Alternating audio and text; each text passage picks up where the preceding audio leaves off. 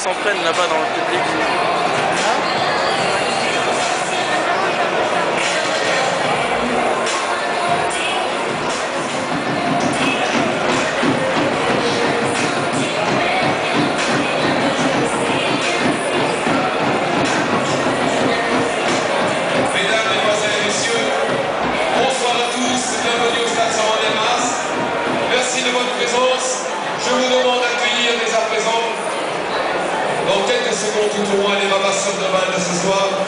s'agit de Barbin au numéro